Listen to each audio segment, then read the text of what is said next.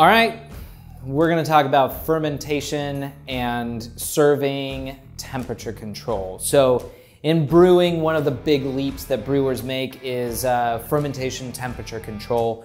And uh, there are a couple different ways that we can do that. So the idea here is yeast strains all want a certain temperature to work at. And so after you've boiled, you transfer your fermenter, you put the yeast in, and you want that final last step. So the fermentation to go as smoothly as possible. Certain yeasts want to work cold, certain yeast like in the 50 degree range, some want to work in the 68, 70, and now we even have Kveik, which is up in the like 100 degrees, 95 degrees is recommended. So how do we do that?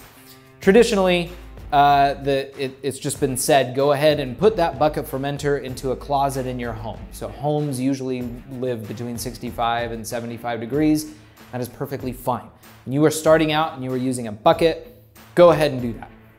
The other option is to get into temperature control. So the simplest way and the way that I got into it was I got a cheap refrigerator off of Craigslist and I put on it an Inkbird temperature controller.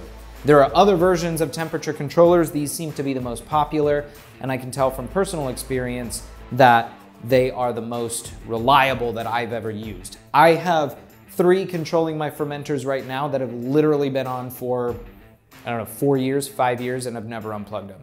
Uh, even between runs, I just leave them on and they just keep working. So why would I change?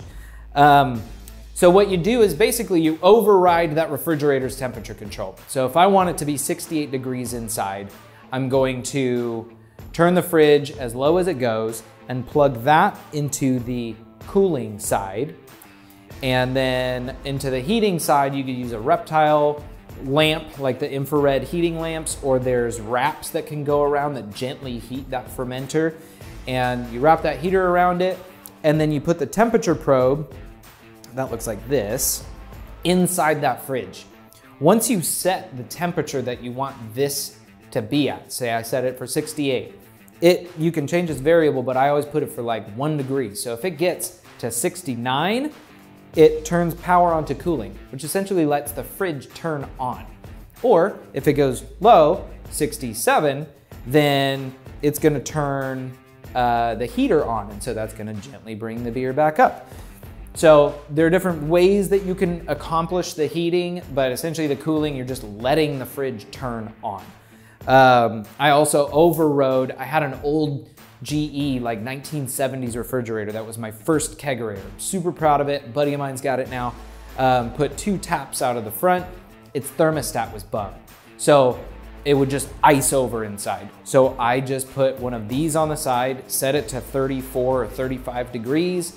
And so as soon as it hits 35 degrees, it shuts itself off and then, um, yeah, basically it'll turn back on once it comes back up to temperature. So it just overrode the thermostat for it. So that's the idea behind this.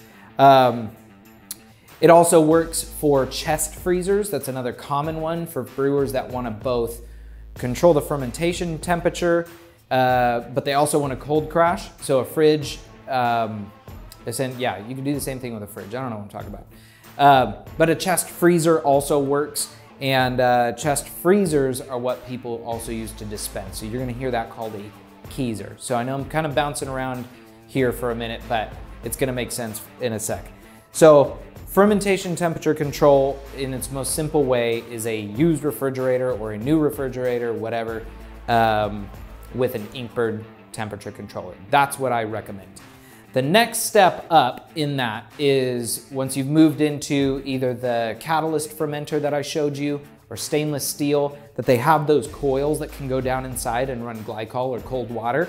Um, that also works on this. So the same idea. This temperature probe, instead of just being inside the fridge, is in a thermo well down inside the liquid. So the wort when it starts and as it turns into beer.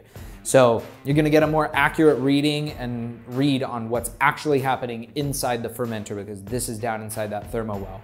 Um, what happens instead of turning refrigerator on is that you're gonna activate the glycol uh, chiller. So actually you're activating the pump that's sitting down inside that glycol. So you're gonna cycle cold, ice cold 27 degree glycol through that coil and that's gonna drop the temperature of the beer inside the fermenter. And then you kind of have the same, like I have these uh, heater wraps that sit in contact with the fermenter if it needs to be heated.